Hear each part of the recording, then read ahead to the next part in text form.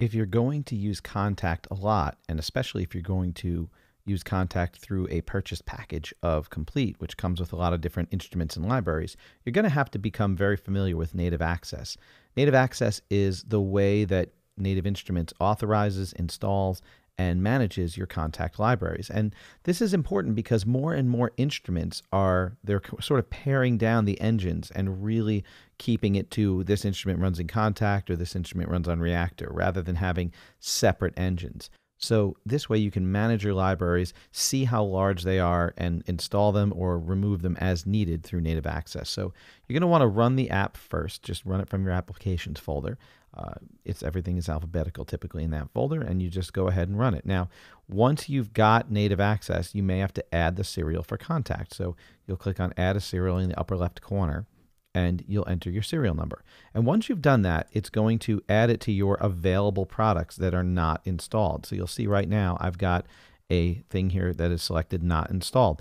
And I could install everything, and that would put everything all in one place.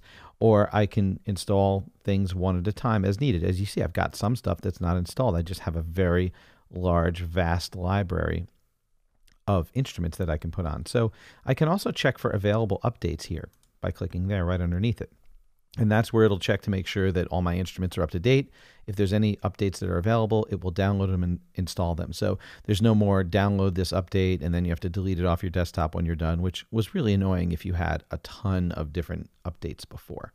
And then finally, installed products right there. So you can see I've got the full version of these products. And as I move the mouse over things, I can reinstall. So, like Action Strikes, Action Strings, all of these are Kontakt libraries. They're not instruments on their own, so they run inside of Kontakt. If I click on this little three dots here, I can see the information about it. I can see where it's installed. So if you need to know how much space that library is taking up on a specific drive, you can find out where it's stored, and then you can see the change log for that library as well. If you need to refresh, like if you just added a serial and it's not showing up, you can click the refresh button and it will refresh all of that off of the server. And of course, if you need to go to the um, little thumbnail view here, it makes it a little easier to find an instrument if you want to just look by the logo. But I tend to keep it alphabetical for myself with the little tiny thumbnails because I just have so many instruments, as you see.